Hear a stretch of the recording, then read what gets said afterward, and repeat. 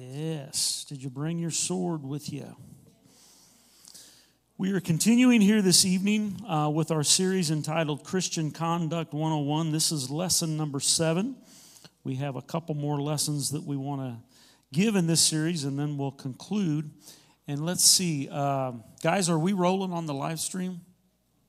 We should have a couple Texans watching tonight. Brother Kirk and Sister Jody, what what what camera are we on, guys? Are we we're back here? All right. Well, today is Brother Kirk's birthday, so could everybody give Brother Kirk a big howdy? uh, I don't know if Brother Kirk's talking like that yet, but happy birthday, Brother Kirk. We love and appreciate you guys. Oh, my goodness. All right, lesson number seven. And tonight we're going back to the book of Romans. In fact, we're going to go back to the very same passage that we started out with last week. And, uh, but now, here this week, we're going to head in a completely another direction.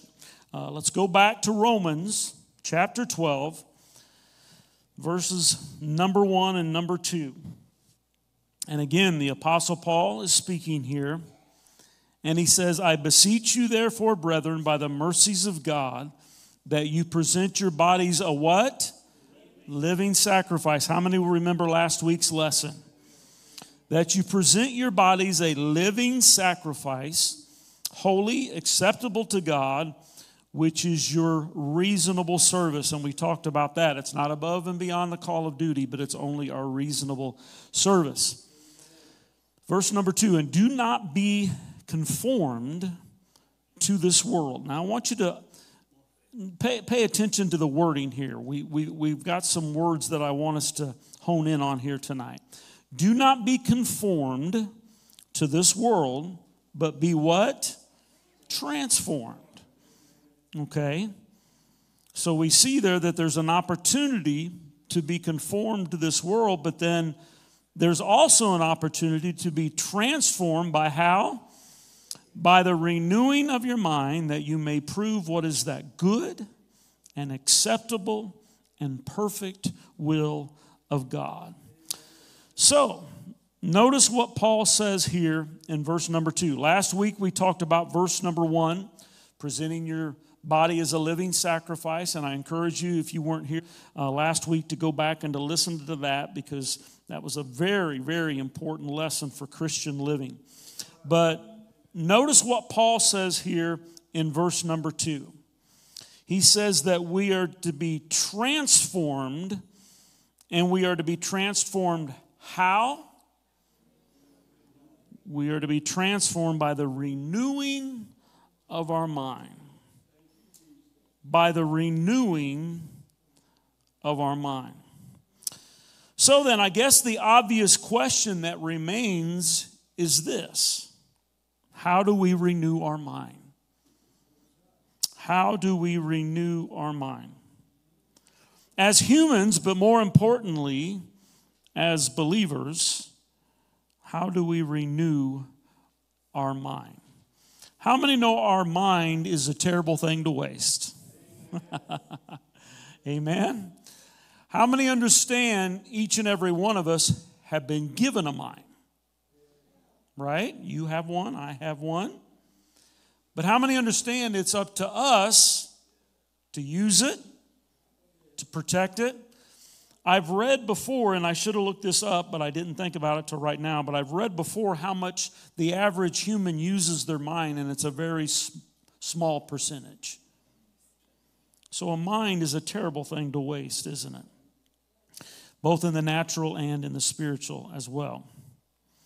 But it's important to note here that both commands that we find here in verse number two, both commands from the Apostle Paul are what we call passive. Everybody say passive. Both commands found here in verse number two, given to us from the Apostle Paul, are passive, meaning that we aren't the ones who are conforming or transforming our minds, but rather someone else is. Now, this is important. Now, this is important. We've got to catch this. And let me try to explain what we mean here. First of all, either the devil is conforming our minds to be like the world, or God is transforming our minds to be like his mind. Now, obviously, we get to choose who does what. But once we make that choice, then the process is set in motion.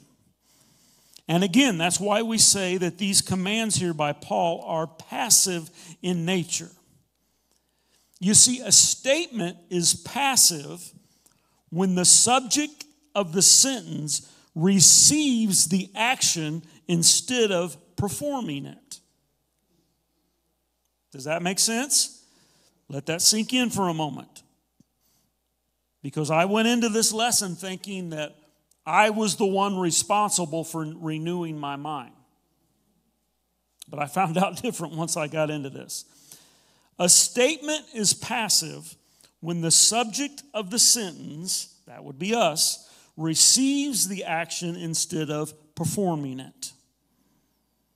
So then, as human beings who all of us have minds, like we've said, we're either being conformed to this world via demonic influence through television and music and media and so many things.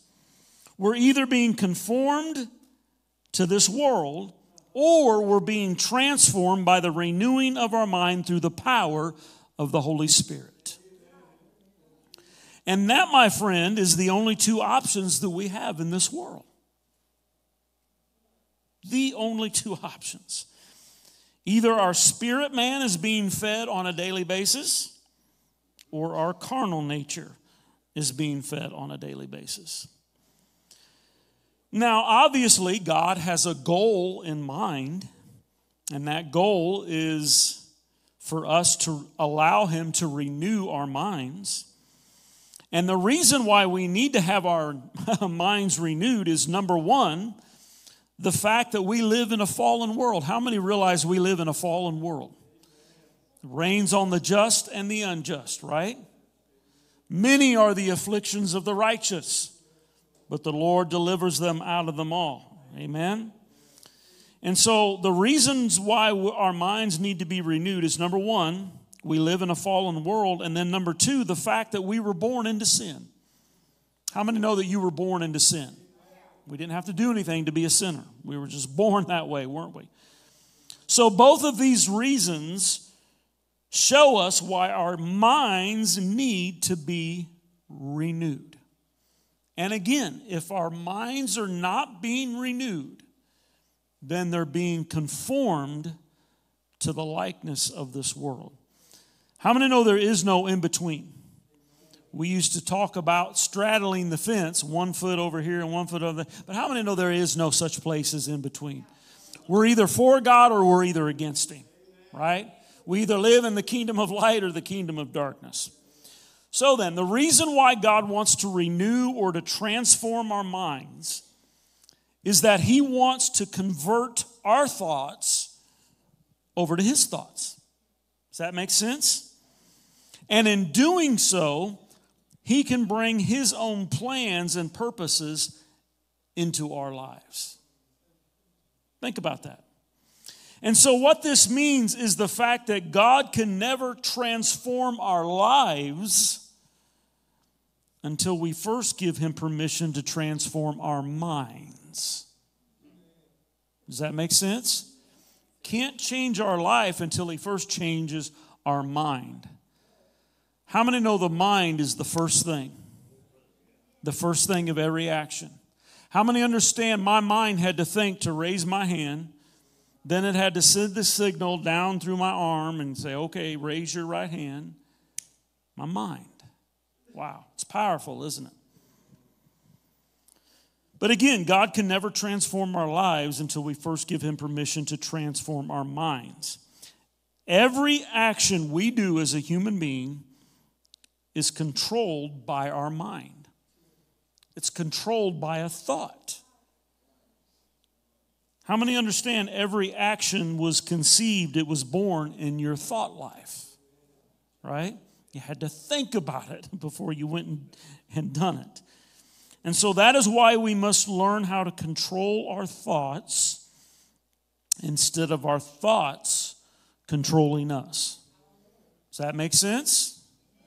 It's kind of like that, what the Bible says about money. Money isn't the root of all evil, it's the, the love of money.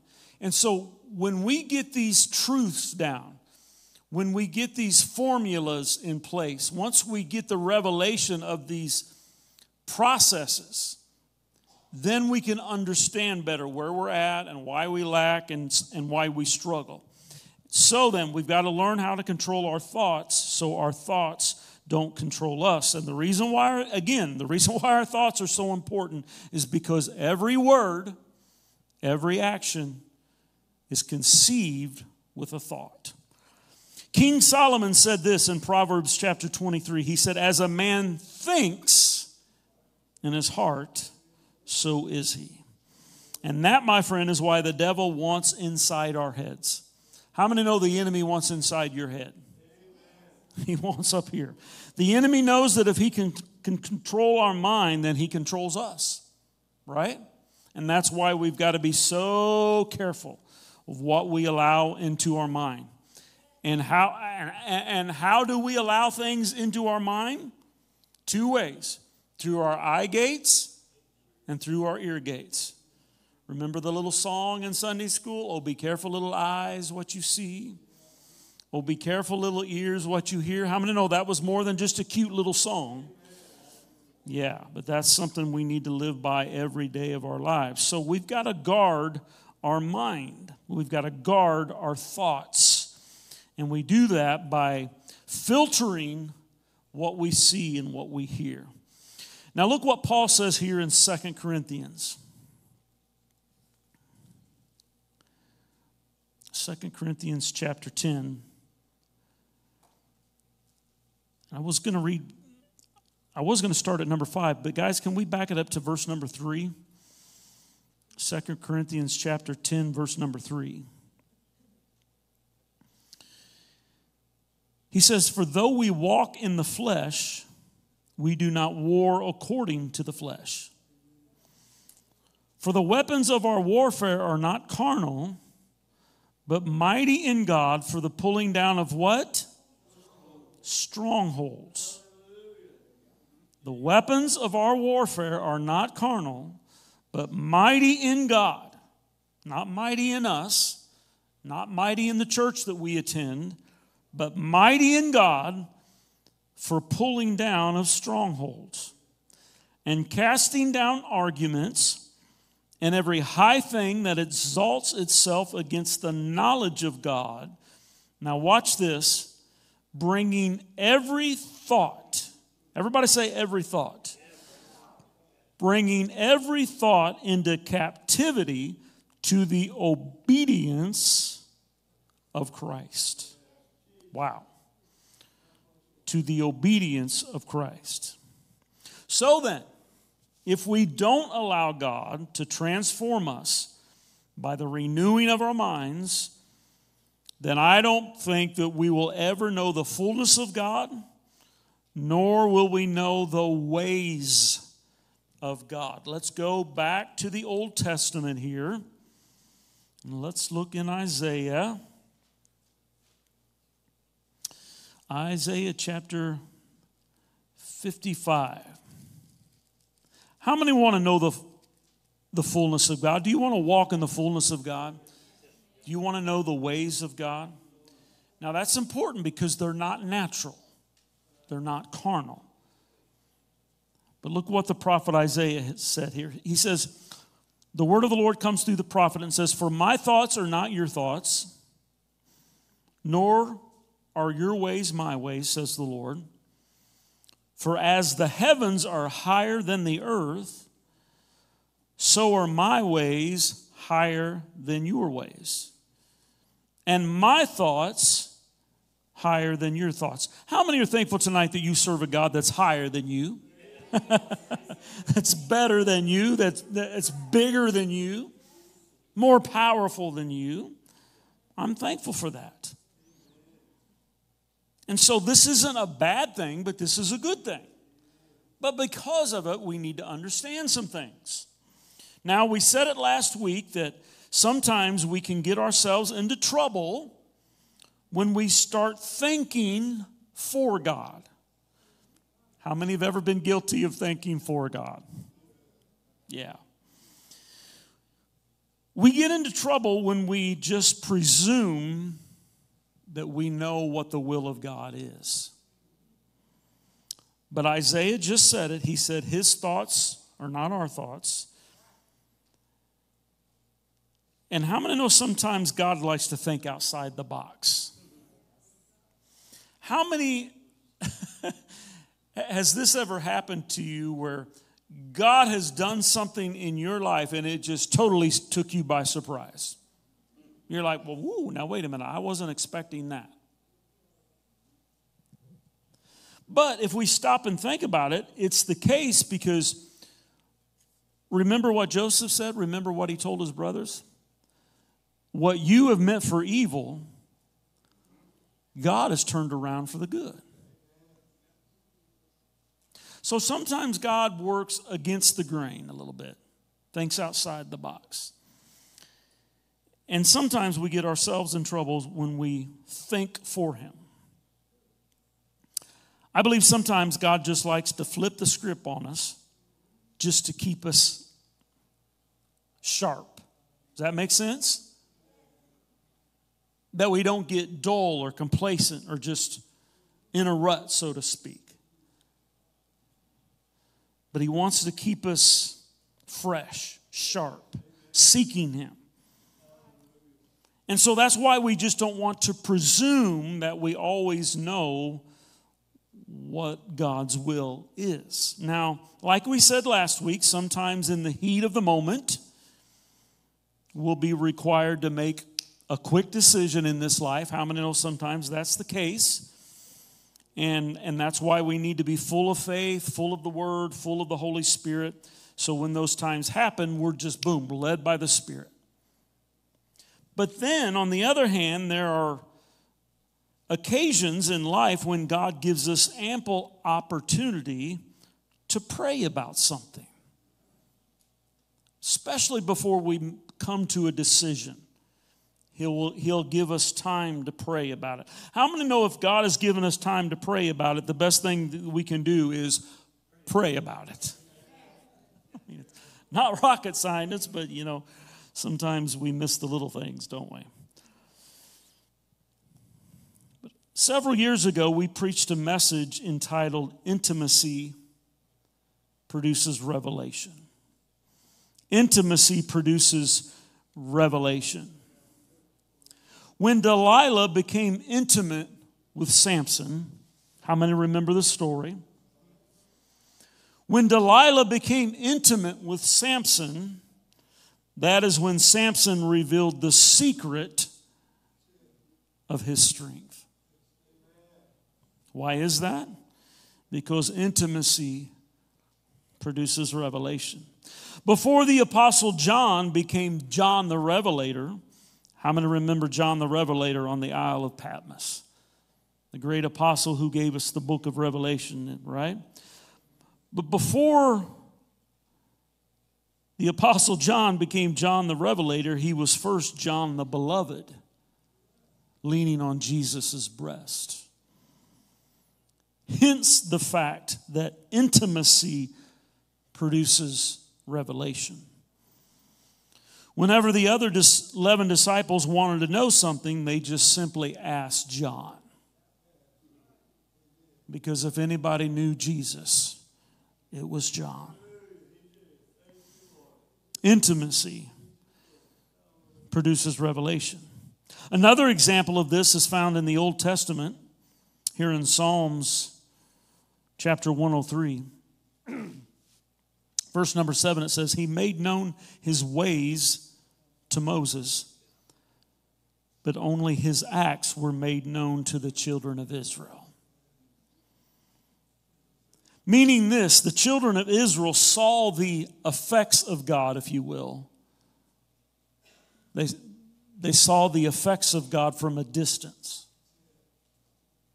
They saw the fire by night, they saw the pillar of cloud by day, yet they didn't see nor did they know the God of the fire, nor the God of the cloud. But Moses, on the other hand, Moses not only seen the fire and seen the cloud, but how many know he saw and talked to the God behind them both? he was a friend of God. How many are thankful you're a friend of God tonight? Ooh, Jesus. Thank you, Lord.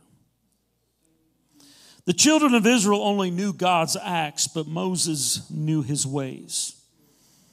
Meaning that Moses, Moses knew why God did what he did. Amen. Now, before we conclude tonight, I, I, want us to kind of change gears here because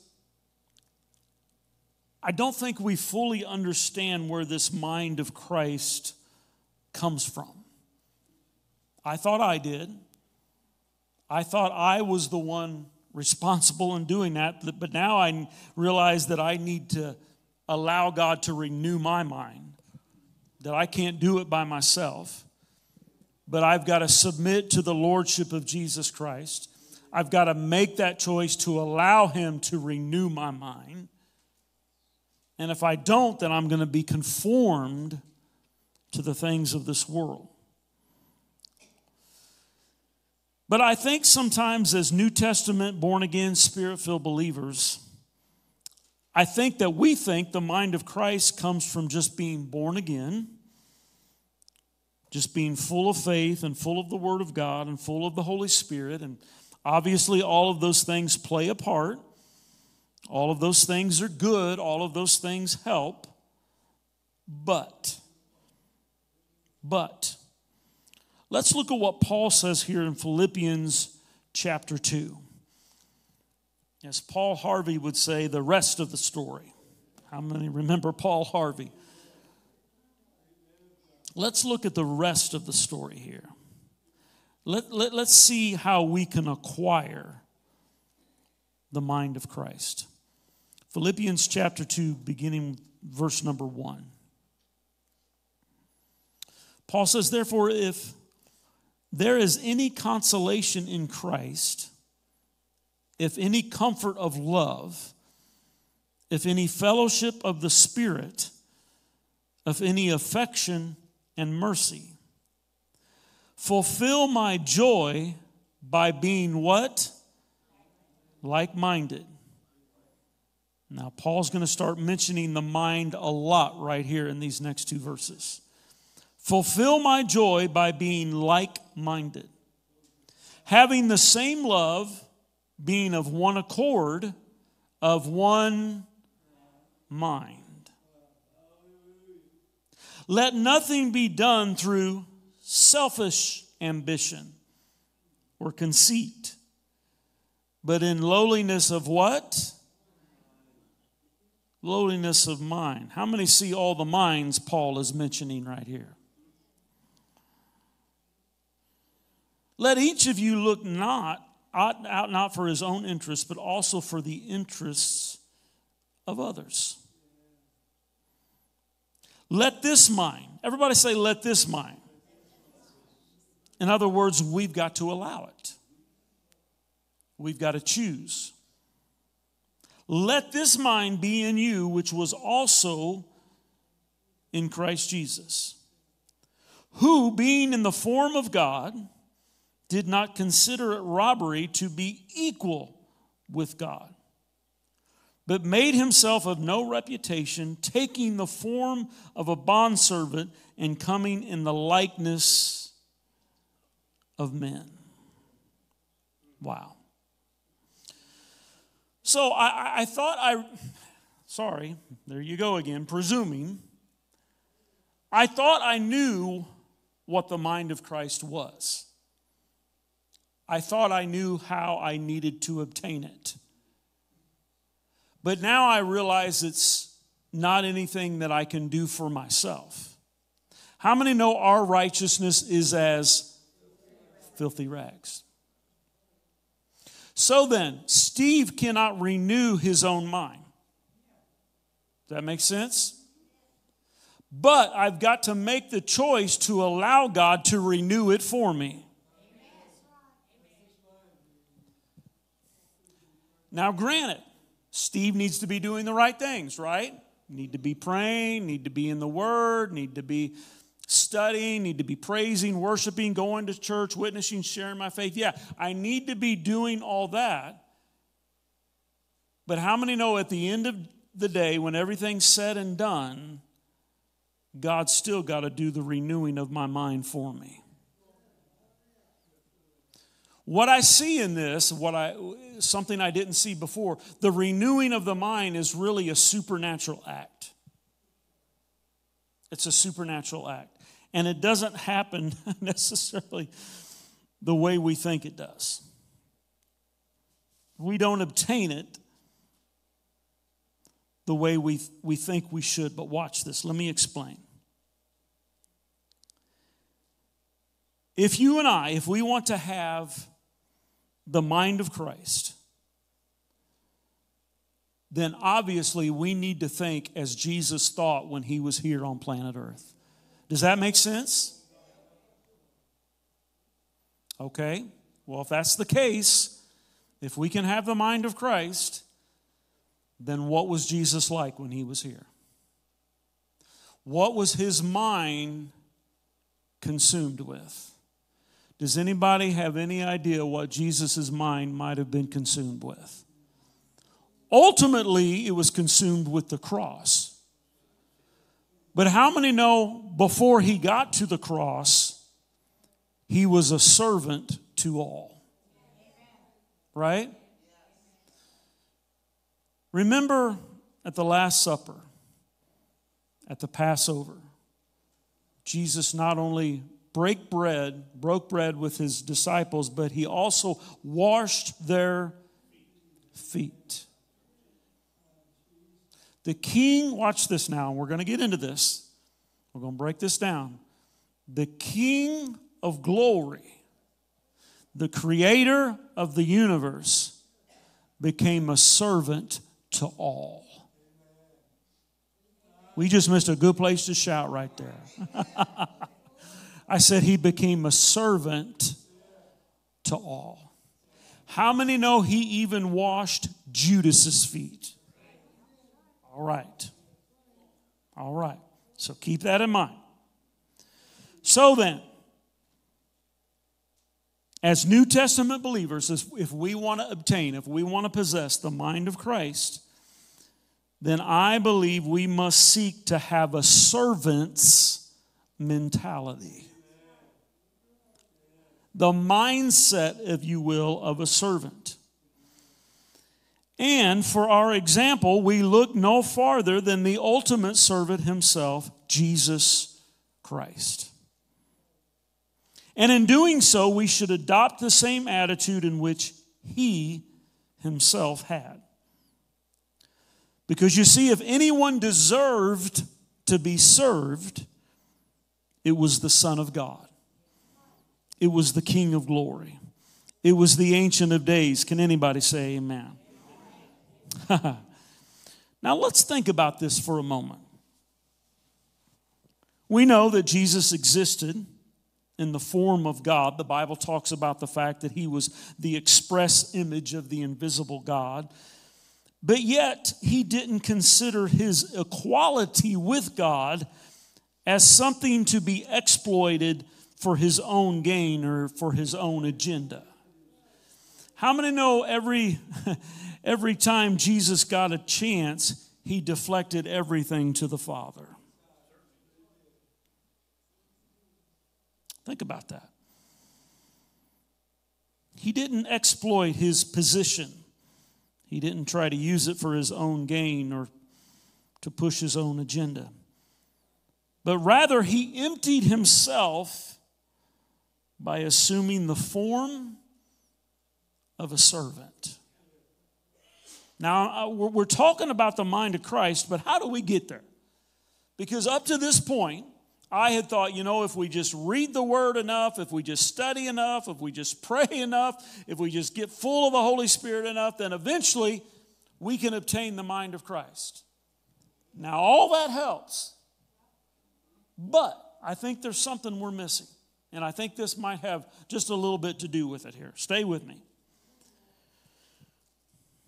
So, Jesus emptied himself to become a servant. But there are some things that he did not give up in order to do that.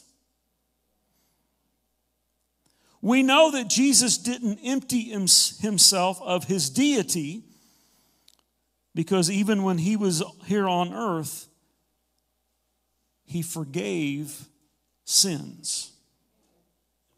Remember, that really messed with the religious people, didn't it? How do you have the power to forgive sins? Jesus didn't empty himself of his deity because while he was here on earth, he offered forgiveness for sins, he opened the blinded eyes, he raised the dead. So there wasn't any time that he ever stopped being God. But rather, he took on human flesh and became a servant. He became a ransom for many.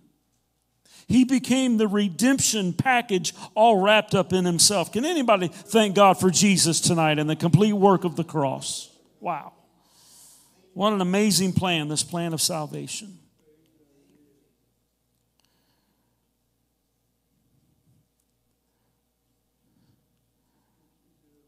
Jesus took on human flesh and he became a servant to all. And in doing so, he didn't allow his deity to stop him from expressing his humanity. Like pouring water into a glass, Jesus poured his deity into the container of his humanity. And in doing so, he became fully God. Or no, he was already God. He became fully man while he was still God. Let's get it right. Come on, somebody. Think about that. Just like pouring water into a glass, Jesus poured his deity into the container of his humanity. And in doing so, he became fully man while he was still fully God. The crucifixion proved that he was man, but how many know the resurrection proved that he was God? Woo! Wow. He was all God, but yet he was all man. He was the God man. In theology, this is known as the hypostatic union. The hypostatic union. Two natures in one person, yet unmixed forever. How could he be all God and all man? I don't know, but I believe it. That's why he was referred to as the Son of Man and the Son of God, right? Mary, his earthly mother, afforded him the opportunity to be the Son of Man, while the Holy Spirit enabled him to be the Son of God. Two natures in one person, yet unmixed forever. You say, well, Steve, what does all this have to do with you and I having the mind of Christ? Well, here it is. Jesus could serve. Jesus could take on the role of a servant because he knew that he was God. There was no identity crisis in the life of Jesus Christ.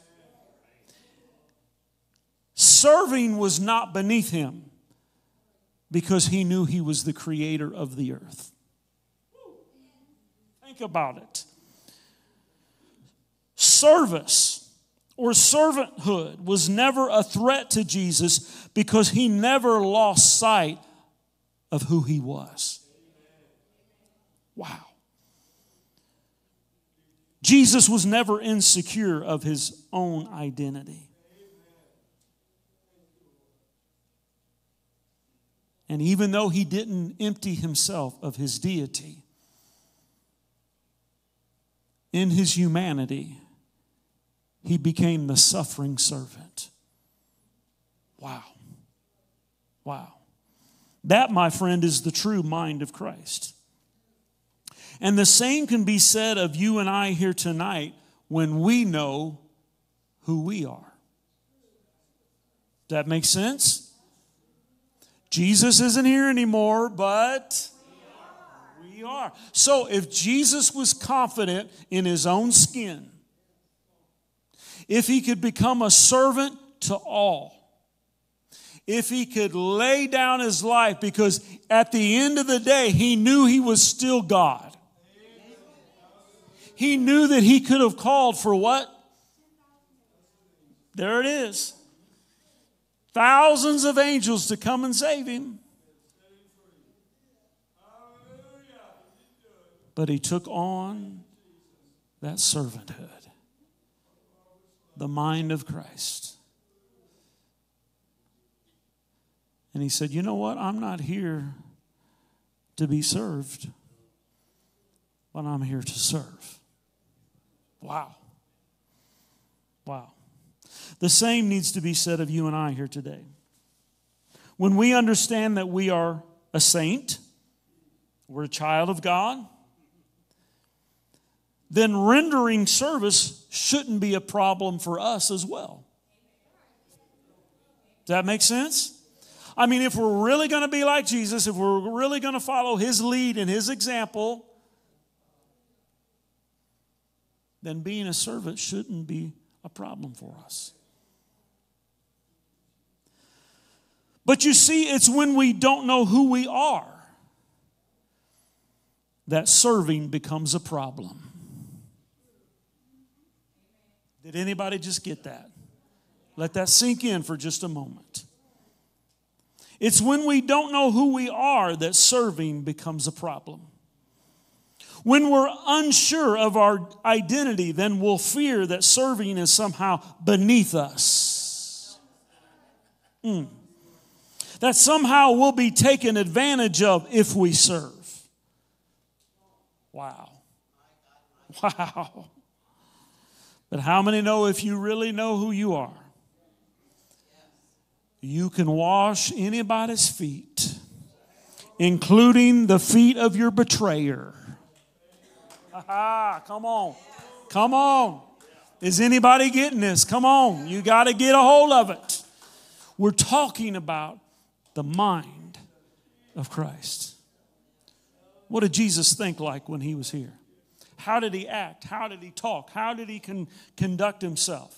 That all has to do with the mind of Christ. See, as New Testament spirit filled believers, oh, we think the mind of Christ is just this woo, powerful, anointed thing. You know, I'm speaking and preaching and teaching life and, uh, you know, prophesying and decreeing and declaring, and all those things are great.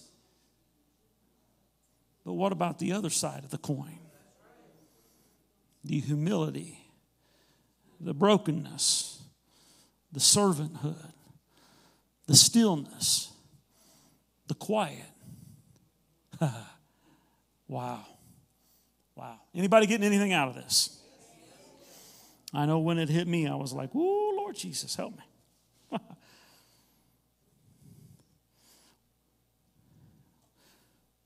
when we understand our true identity, then serving won't be a problem for us.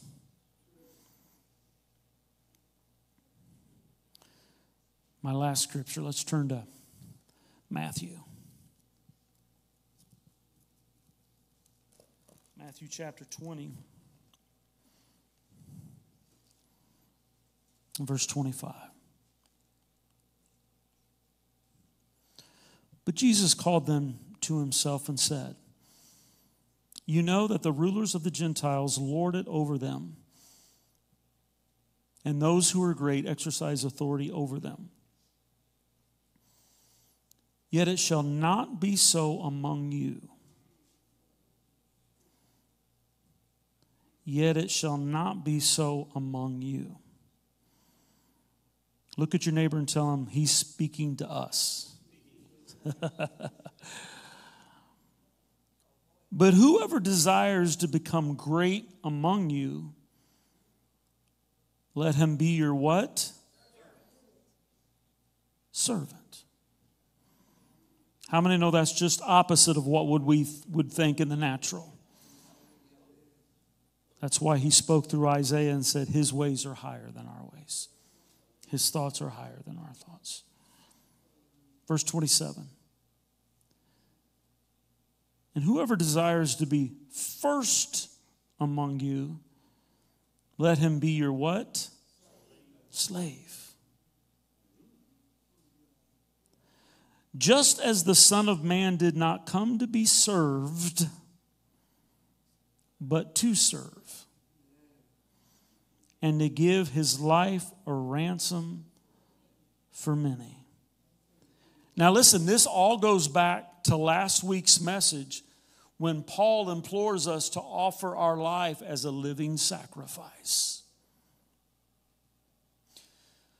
Paul could say that because Jesus was the example and Jesus offered his life not only as a sacrifice, but a ransom for many.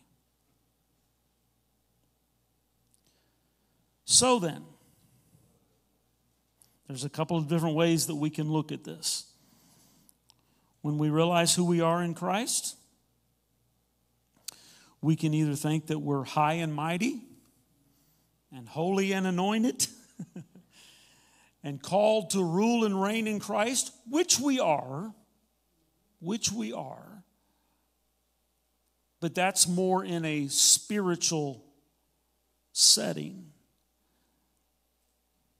But can I tell you, in the natural, we are called to humbly serve.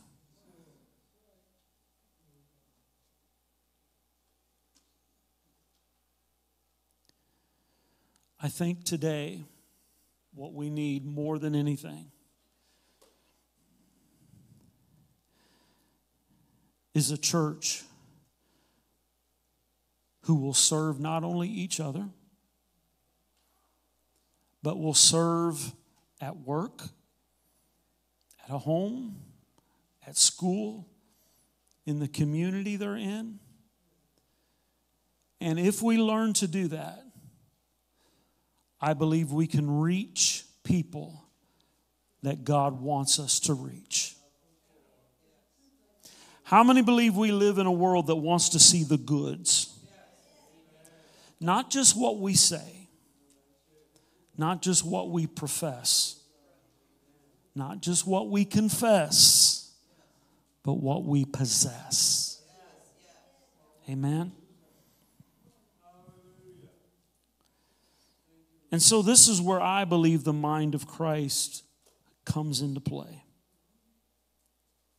When we realize who we are in Christ, that you know what? We don't have anything to prove.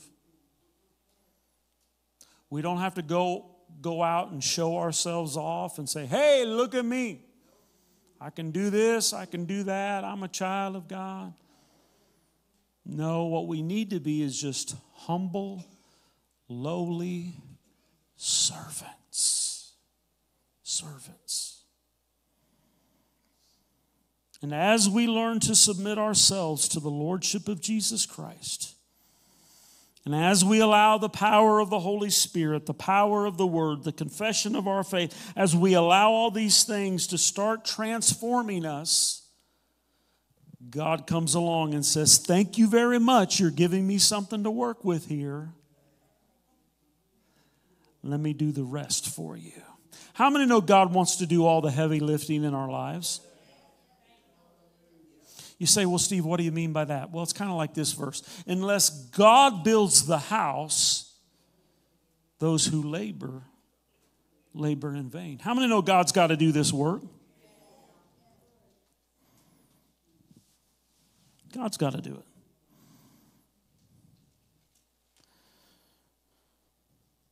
So, as we allow these things to happen in our lives, I believe God uses all of them to transform us.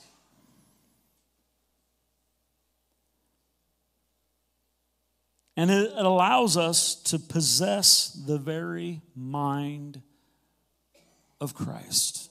I know that's a powerful statement, but I believe it. I believe it. I believe it. How many believe you can have the mind of Christ? You say, Well, Steve, how do you, how do you think that? How do you believe? Because the word says we can. Now, we don't do that for our own good.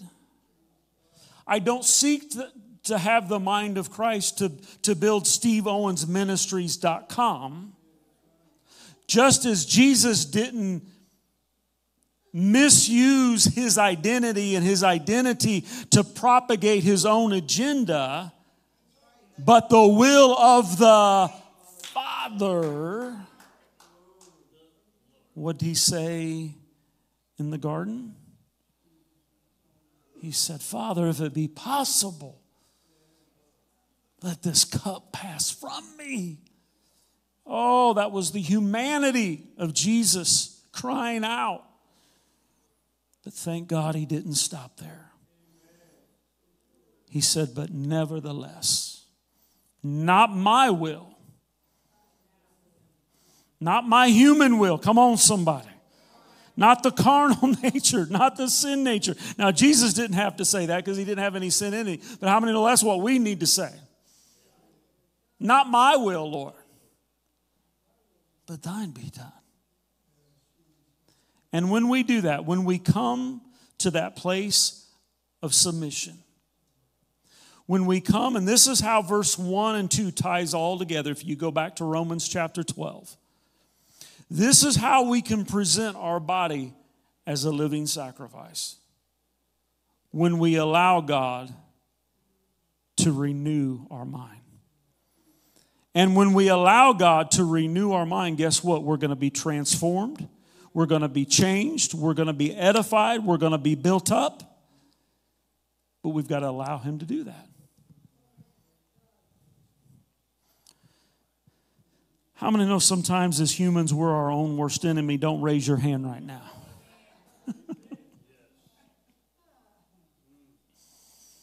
Pastor Tom, I hate to say it. I know you love Barney. But we're like Barney Fife. We kind of shoot ourselves in the foot. And that's why Andy had to take his bullets from him. I want to know sometimes God has to take our bullets from us because we keep shooting ourselves in the foot? But how many believe we can reach a place of growth in God? Woo, Jesus, I feel the Holy Ghost right now. How many believe we can reach a place in Jesus and I understand it's not going to happen overnight. But if we'll stick with the plan, if we'll stick with the process, if we'll allow God to work on us, if we'll allow the Holy Spirit to move on us, if we won't give up, if we'll stay faithful, if we'll stay in the Word, come on, somebody. Woo, if we'll just keep going on and going on and doing what we know to do, I believe we can come in possession of that mind of Christ. And yeah, we'll end up doing great things. They that know their God shall be strong and do exploits. But you know what? What I'm seeing out of this lesson that I've never saw before is the greatest things wasn't the miracles, wasn't the healings, wasn't the signs and wonders. But the greatest thing about Jesus was the fact that he knelt before Judas, knowing that Judas was going to betray him. But yet he poured the water and he washed his feet. Oh, he washed his feet.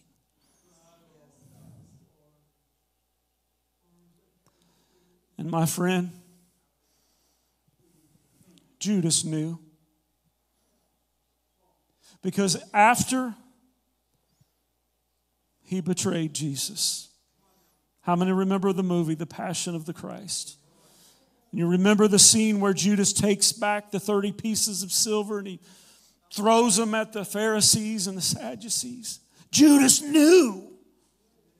And I don't know, was, was there something in, in Judas's heart where He thought maybe that Jesus would show himself as God. Maybe he thought Jesus, Jesus needed a, a, a little push, a little shove.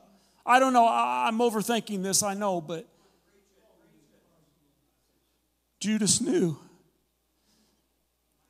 That's why he went out and hung himself because he knew he betrayed an innocent man. Church, can I tell you? This is what I believe after going through this study before we can ever possess the mind of Christ. We've got to become humble like a servant. And we have to love people.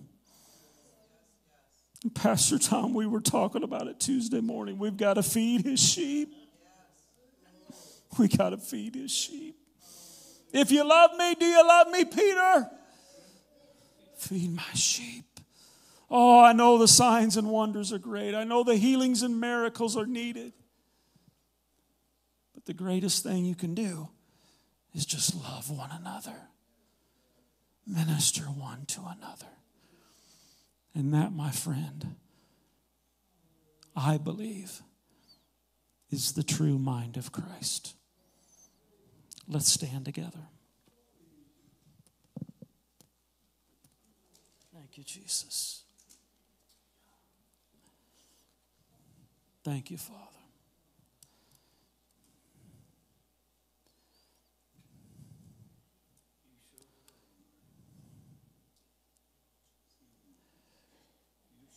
When I started this Bible study Sunday night, I had no idea what it was going to lead to. I started in the first part of the lesson, and I thought I understood where I was going. But it was a moment in time when I stopped right there at my study. And I remembered some of the words that Sister Jody had spoke just that morning. Are we willing? Are we available? and the Lord just began to download this into my spirit, man. And I don't know about you, but it just amazes me how I think I know some things until God proves to me that I don't hardly know anything. But we are constantly learning and growing.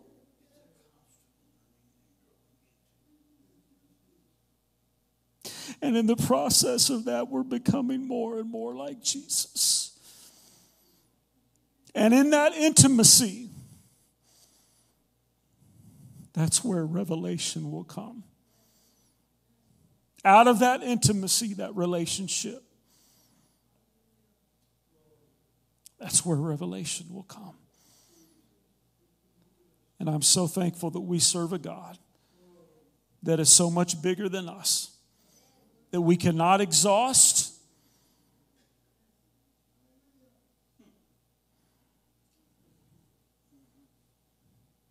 That just about the time we think we've got a handle on everything, He blows us away with so much more. How many are thankful that's the kind of God that you serve tonight? Thank you, Jesus. Pastor Tom, why don't you come and pray us out tonight?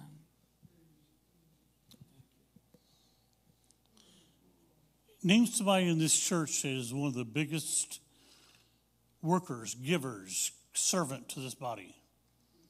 Anybody throw out a name? How about Jody Duncan? I'm going to surprise you about something. Somebody let me know. Did you know she has her master's degree? How many people knew that? Huh? One, two, three, four. Four people out of all of us, and five me. Yeah, but she's too intelligent to serve like that. She's one of the biggest servants around here. Man, she did the dance. She pro- did all these programs. I finally found out, oh, maybe a month ago, she has her master's degree. Yeah. She never touted it. Father, thank you for, the Lord, those who really have a heart of servantship. That, Lord, as Pastor C said, we, Tuesday morning we were here, and this is exactly what we spoke about. Of being a son of God. I, I am a son of God, but I'm a son of God who serves God's people.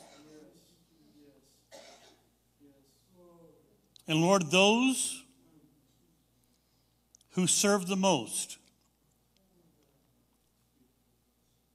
Yes, Lord, those who serve the most. Yeah, I wrote it down. I can't remember exactly what I said on there.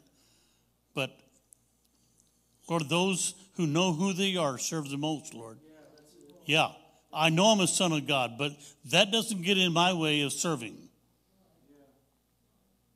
Because, Lord, Jesus, I think about you, as Pastor Steve mentioned, John chapter 13.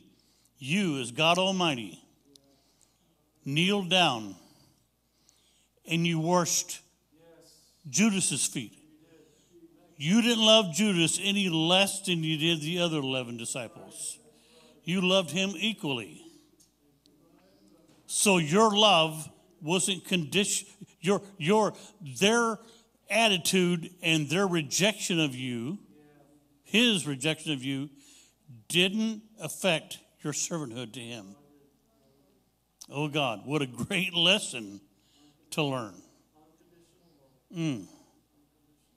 Yes, those who love the most serve the most. Thank you, Lord, for your example. Lord, you did it, which means I can do it through you.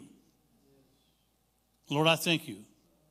Lord, may this be ministered into our mind. May we always think, Lord, how can I serve? In Jesus' name, amen.